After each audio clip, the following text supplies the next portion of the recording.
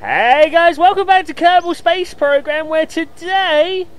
Oh, there's no moon in. Why is there never a moon in the sky? Want to want to say we're going there? Oh well, it's not there, but we're going there. Um, so there, there's a couple of things that we need to take care of before that. I mean, not least of which is design the rocket that we're looking for.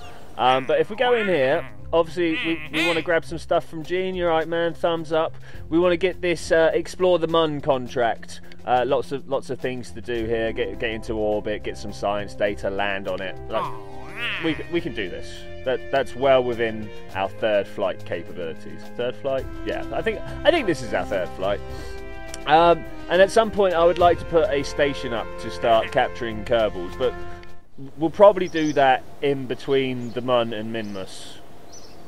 I'm not. I'm not sure. That that seems like like a good idea. Uh, the other thing, if we go into the moon, oh my goody god, we need all this this science stuff here, like so bad. Um, I, am literally going to bankrupt myself. Like watch my watch my money's going down, buying all these bits because they're just so monumentally useful. Uh, so we got like the magno- magnometer, magnetometer, mag- magnetometer. There's another there's another T in it. Magnetometer. There we go. Um, we got the kethane scanner, um, the altimetry sensor. Uh, which is not as great as it sounds. Um, like it's all nice having a map, but when all you've got is elevation. Uh, uh, batteries, of course, really important. The material science bay, uh, stock important, and I'm not overly bothered about the comms unit. Uh, now, unfortunately, with 15 science, we can't really do much else. But let's see if we can spend any more money anywhere. Um, let's, let's throw a, let's get a fin just in case we need to throw it on the bottom of our rocket, and we've got all those already, right? Okay, so now, a little bit of thinking needs to be done. So what I'm going to do is I'm going to say I will see you in the VAB in a moment when I've like sort of sketched out some ideas for a lander. Alright guys, so this is what I've ended up with. Uh, I've called it appropriately Frankenstein's rocket because uh, a lot of things have just kind of been a little bit bolted on. Uh, we've got a kethane scanner there. We've got a uh, radar altimeter, our magnetometer.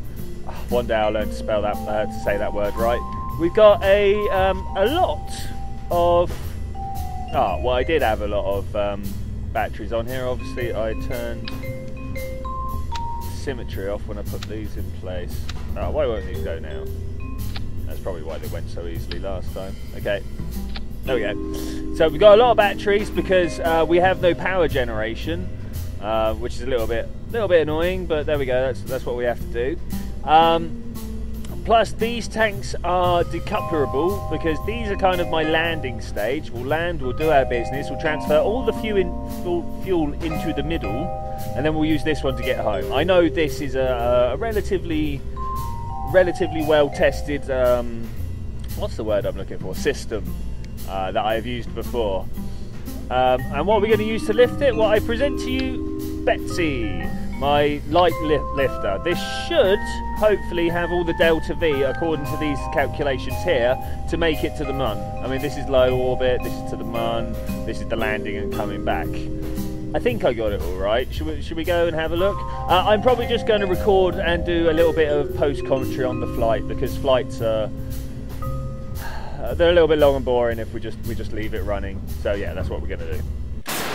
So first flight, subject to a little bit of impromptu testing, unfortunately.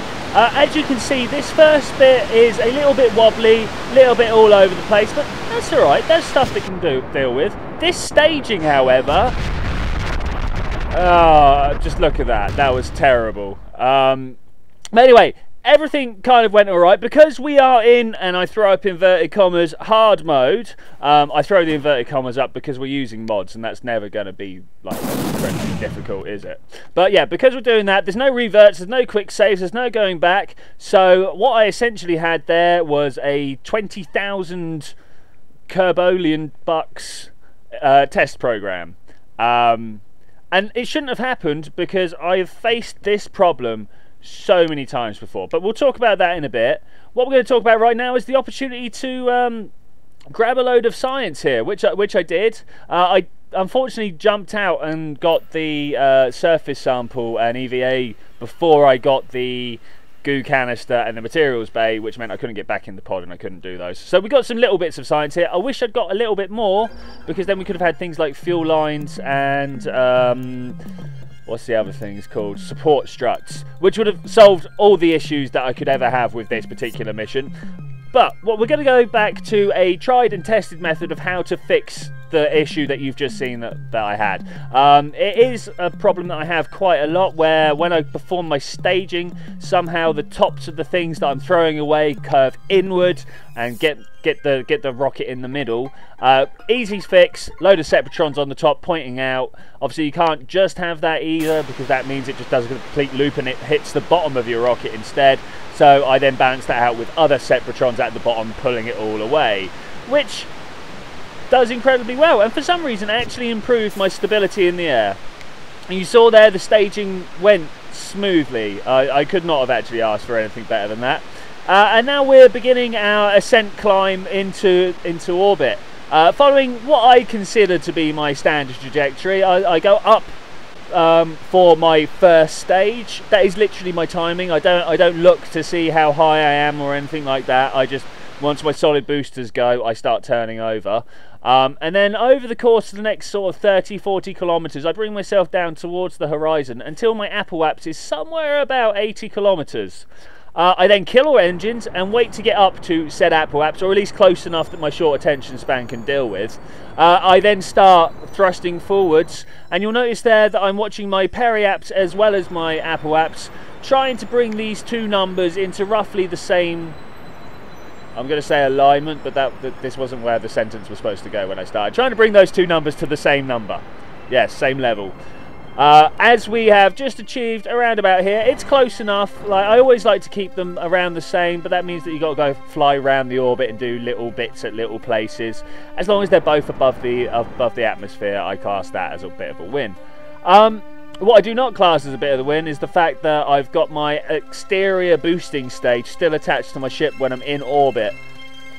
Uh, this is basically an artifact of me being used to um, having fuel lines, which means all the fuel would have been draining from the outside into the middle, so I could have got rid of those in all atmosphere and then still had full fuel cell in the middle to get up into a circularized burn. Obviously, this early on we don't have that, so we get to watch those spin away into orbit, and I'm I don't know. We'll de-Kessler at some point, either using the uh, the the uh, cancel flight mechanism, or maybe we'll go out and and zap some stuff with lasers or something. I'm, I'm not sure. That that is by far the preferred method. Now you'll notice there that I actually dumped my transfer stage because I'd run out of fuel. Numbers weren't quite as good as I thought they were, but I do know that this. Uh, quad engine system on my on my lander stage here has more than enough fuel to circularize around the moon, land on the moon, and get me back home. So, you know, everything is all good. And as the only footage that I have between now and then is me playing around with maneuver nodes and the HUD and all these other things, we're going to skip forwards a little bit into the moon sphere of influence. So I'm fairly confident in my flight plan here, if not my abilities to pull it off. Um, so we're going to take a Kerbal out and we're going to do some science because we're in the, the, the outer orbits of the moon. Um, this is one of the places where we want to go around and get everything that we can sort of science-wise whilst I remember that it is a thing to be doing. Uh, one problem that I did have, and I'm not sure where I've picked this up. Obviously, all, you guys all know I've taken a bit of a break from Kerbal, like trying to gather some more inspiration and stuff. And somewhere during playing all the other games I've been playing, I have learned that pressing shift makes me go forwards, which, as you guys will know, when you're on a jetpack is not what you want to be pressing. So if you see me kind of mucking around in um, on the jetpack, not really appearing to do what I should be doing, it's because my muscle memory has got a little bit messed up with different games. But Enough of my excuses of why I can't fly very well. We're down at Periaps, which means it's time to circularize our burn. Well, not circularize, ca to capture our orbit. Um, I want to bring it down, the Periaps, down to oh, about 10 20 kilometers because, well, let's be honest, we want to be able to see the moon when we're going around it and not just be, oh, look at that rock over there somewhere. And already, even at these altitudes, I'm starting to think, mm, where shall I land? What, what shall I go in? Uh, at the moment, my eye is on that right-hand crater. Um, though that will change when we get back round because obviously with the moon's rotational spin to deal with because you know there's other types of rotational things um, yeah with, with, its spin to deal with that crater is actually getting uh, exceedingly close to the dark side and I know I'm not going to be hanging around forever, but I would still like light for as long as possible. So I change my maneuver node, shift the inclination to the other direction off of my orbit, and yeah, just basically fly by the numbers now. Uh, I'm, I'm, confident that the trajectories I've laid up are correct. So we fly around, we watch the moon, and then boom, that dark spot there is exactly the one we're going for. So I point myself retrograde and then look along the line of my engines to make sure that I'm going exactly where I want to be going. I am, so I start configuring myself for landing. Uh, I spin myself round. I should eventually get my landing gear out, and then I'm like, Hmm, low orbit science. So we get Jeb out, we do some stuff, we get the magnet, magno, magno. It's, it's when I start the nom. That's I want to say nom. It's nometer. There we go. Magnometer up. um, get my landing gear out. Well, uh, and, and, then come down, trying to pick my landing spot. Uh, at this point, I am just looking around, going, "Oh, that big dark patch, that small white patch. I'm not sure which ones I want to go for." And up there I've selected it. You notice when I uh, circle it with my mouse there that is definitely the one I'm going for. Looking straight down I kind of get an idea of when I'm flying flying completely like over the top of my of my target site. Try and nail all my forwards velocity which on the advanced navball is quite easy. You just wait for this blue circle to come up, and then your your your uh, retrograde is somewhere up top somewhere. Uh, we spend a little bit of time pirouetting around, just making sure that Jeb gets to see all the glories that, and then start getting our uh, downwards velocity in check. Um, now, I could have waited a little bit longer for that hard burn there, but it was getting incredibly close and I was starting to feel a little bit scared. So we, we came to a dead stop a little way up and then just drifted down slowly and made contact like that. Well, wasn't that better than doing it all in real time? Oh, that could have been like boring as hell, right? Well, I, I, think it could anyway. Right, so we are on the moon with Jeb. You, you saw the trials and tribulations yet seconds ago. I don't I don't know why I'm pointing these out to you, guys know. But whilst we're on the moon, we could immediately jump out, plant a flag, get some science done, things like this. But I am a seasoned Kerbal player. I have done this contract thing before. I know if we've got a list of ticks here for the moon stuff, what we should do is come in here. And hey, hey, Gene. Sorry, I keep forgetting. So, so there we go. We plant a flag on the moon for lots of money. I want to plant flag on the moon for lots of money. Science data from around the moon. It is significant. Uh, we get some science, we get more money, which is which is the important thing. You, you may remember that I was running out of money, um, doing quite quite well. So we are at pre-crash test flight uh, money situations already. So if we close this and come back to the tracking station, get to Frankenstein's rocket, and then then we're gonna we're gonna get it Jeb out. We're gonna run around. We're gonna do some science we're going to do all the science that we can from inside the rocket first. So first thing we do, observe the mystery goo. Uh, it's less dense here. I don't think I'm going to read out all these things at once. I mean, that's. Uh, you may leave a sample bay door open for the mun and do something else for a while. Yeah, I've already done that. Um, 100 science for that. That's awesome. Uh, magnetometer, my favourite word of today. Um, move that out. That's that's awesome. Oh, we didn't do any uh, scan. So one of the main problems that I realised I'd, I'd, had is this ScanSat and this key thing both need constant power, and obviously I've not unlocked any of my um, my solar technology yet, so we're, kind of a bit stuck. Uh, another thing that I'm going to do whilst I think about it is I'm going to open this fuel, and I'm going to open this fuel, and it's all going to go in here. Um, because we're not bringing these out. Oh, damn it, I keep forgetting you can't close those when they're running. Because we're not taking these outer tanks back with us. We're going to dump these outer tanks here and just bring the inner core with us. Which, hopefully, you know, if nothing else, it will leave us a nice marker to tell us where we've been. Um, which is going to mean we got a little bit of boring stuff just do, just doing this quickly.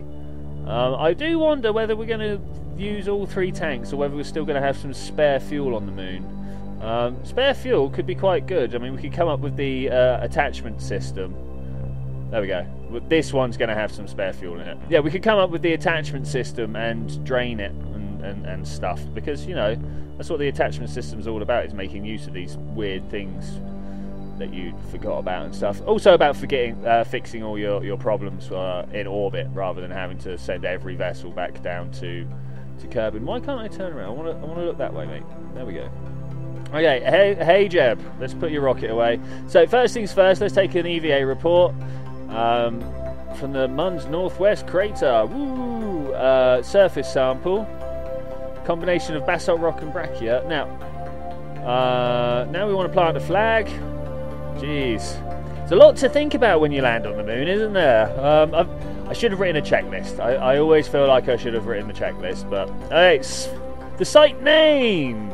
Um, Moon Touch, Touch Error One. Yep, because we are the first one to touch up the moon, and in fact, yeah, fir first one to touch up. Apart from I can't type the moon. Awesome. Okay, brilliant. So that's that should be next to everything we want to do here. I mean, I wouldn't mind popping a few of these experiments away. Oh, come on, get on, get on your thing there. No, you're not liking it. Right, so let's pop all these science experiments away. Oh, away. And then hopefully, with the addition of a jetpack, we should be able to get a different EVA report by doing this. Yeah, awesome. That's that's exactly what I wanted. There we go. Little little, little pro tip there. Um, I, I should imagine most of you already know it, but just in case not. Okay, so I think that's all we want to do here. I don't see anything of any note to look at. No, I mean, we've got Kerbin coming up for an eclipse possibly soon, but that is a long, long time away. Okay, so let's have a look at our contracts. Let's see what we've got. Planted a flag on the moon. Uh, transfer, recover scientific, scientific data from the moon. So let's. Can we do a, a crew report and send it off? I don't know where my. There it is. Let's do a crew report and send it away, and we should be able to achieve that one. Uh, crew report. Ta-da! Awesome, so that's all those done. We want to uh, get some scientific data from around the moon, which means we need to get up. This is charging. How is this charging? I know it's going down. Is that because of my SAS? There we go. Alright, well, I think we're about ready for the return journey. Are you guys ready for the return journey? Let's do that. Let's just throttle up a little bit. Break that. Ah, you guys thought I was going to uh, spin off, didn't you? To be honest, I thought it was going to spin off for a second there. Right, we're going to put on our SAS and we're going to go that way, because that way's home. Wow. Or is it? Should we, uh, hang about, let's toggle the magnetometer. Which way do we want to go? We want to go that way. Which way are we going? I can't, I can't quite tell. That's good. Let's go east and see if that is the way we want to be going. I think it is. I, I, really do think it is. Okay, so uh, flying around should be a relatively flying around, flying back home should be a relatively easy process. I think if we're pointed in this direction, yeah, we should be able just to nail it that way. If if if all things go well, we should be able to just nail it that way. We should really get into a circular orbit. Um, yeah, uh, like st stabilize ourselves in a circular orbit and get a, a, nice circular thing going around, and then thrust from the other side of the moon to get the far side of the apoaps going up uh, retrograde distance. But you know, whatever. We're, we're just going to go over this way. Oh, that's a funky looking moon right there. A funky looking crater right there, isn't it? Oh, I wish we kind of wish we'd gone there. Oh, hold engines. We are going to crash into the planet. Oh, I spent too long talking to you guys again. It's always your guys' fault. Oh. Okay, let's. Uh, I'm, I'm not really blaming your guys for my inability to keep track of what I'm doing. um, if I could, that'd be great. I'll, I'll, I'll, get on with that. All right, let's have a look at where we're going to crash, at least. Um, oh, look at that. That's terrible. Could we can we perk up our orbit a little bit? We've got a lot of fuel left, right? Let's let's see if we can just. Um, God, I don't know. I don't know what we could just undo. Hopefully, we can just open this orbit up a little bit, bring ourselves into a periaps, and then think about how we're actually. No, no, that's not going to work. Oh well, let's just crash into the atmosphere at full speed then. I mean, why not? What What is the worst that could happen? I mean, honestly, worst that could happen is we go th- glitch through all the uh, the the safety margins and smash into the planet as hard as possible, which wouldn't be good. In fact, that would be very bad. Very, very bad. Okay, well, here we come. We, we, we, oh, man, we are crashing down at 2.9 kilometers per second, 3 kilometers per second, 3.1 kilometers per second. Uh, let, us try and see what our uh, our speed limit through the atmosphere is going to be, because this will be a wreck. Oh, Jesus, no, we don't. I don't want to land here. Look, it's so dark. What am I supposed to do? It's just so dark. Well, you're just going to have to take my word on it that at the moment I think we're coming down over a solid surface. Maybe we can get some uh, funky far distance EVA and surface sample reports and things. That, that would be useful, right? Uh, so we're coming down over Green Shores. I'm not actually sure where we are. Um, I don't think I've ever been here before.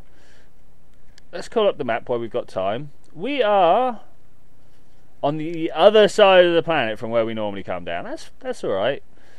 That's alright. It means we're not going to get much for our um, retrieval costs, but we can live with that. We can indeed live with that. Uh, so, as always, I'm waiting until the last possible second to pop my chute because uh, I I hate waiting for things like that. Uh, now now seems good. If we're 400 meters away from the water and there's very much a, a, a step up here, I reckon we're quite close. Let's take the moment to go inside and have a look at our vertical speed radar altimeter. Uh, we're a little bit higher up than I thought I was. I was hoping to be under 200 metres here. But that's alright, I can just talk to you some more about how I really hate landings because, oh, these things just take forever, right? I mean, it's literally the whole reason.